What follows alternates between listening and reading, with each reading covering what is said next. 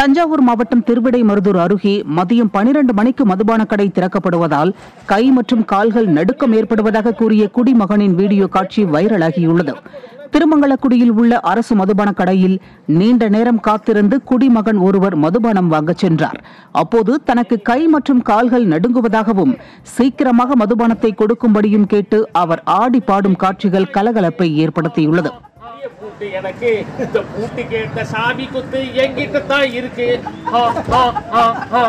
உங்களுக்கு பண்ண கஷ்டமா இருக்கியா? பன்னெண்டு மணி ஆக்குறீங்க நாங்க எவ்வளவு கஷ்டப்படுறோம்? சுகர் இருக்கு பிரஷர் இருக்கு எல்லாத்தையும் லாக் பண்ணும்னா இந்த சரக்கு. கொண்டா.